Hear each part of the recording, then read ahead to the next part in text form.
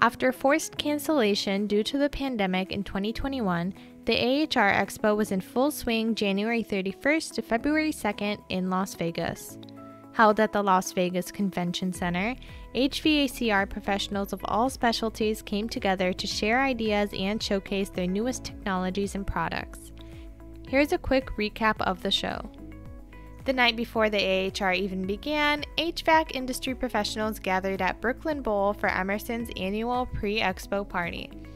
Emerson's group president of heating and air conditioning, Brent Schroeder, raised a toast to the 100th anniversary of the Copeland brand and noted that several new products would be featured at the expo in the coming days. More than 350 HVAC professionals also attended the Addison pre expo party at the Rock House there were similar reunions and receptions held the next two nights, hosted by Armstrong Fluid Technology, Cambridge Air Solutions, RGF, among others.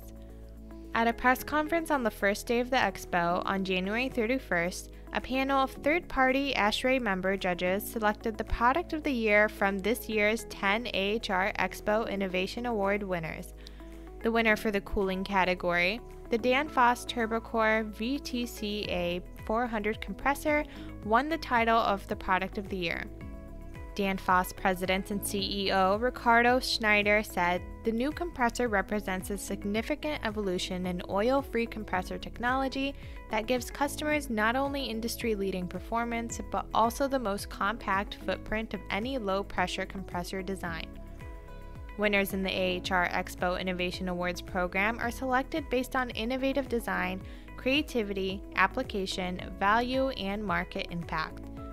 Danfoss has now been recognized more than 30 times over the 18 year history of the Innovation Awards program, including multiple Product of the Year recognitions, the most recent of which was awarded in 2020.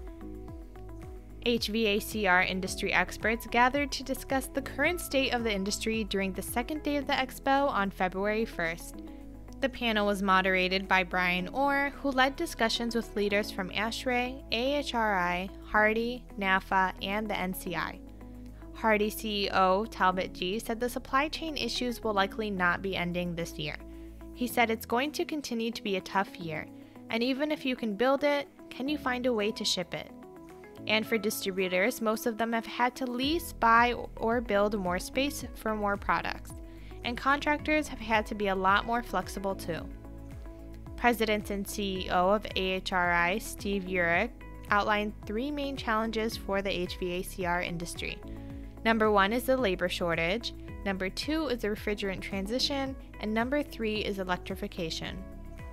Samsung HVAC America announced that it's working with Honeywell to provide advanced control solutions. The control solutions are expected to launch later this year and will be powered by the Niagara framework with emphasis on design, advanced monitoring points, and service capabilities.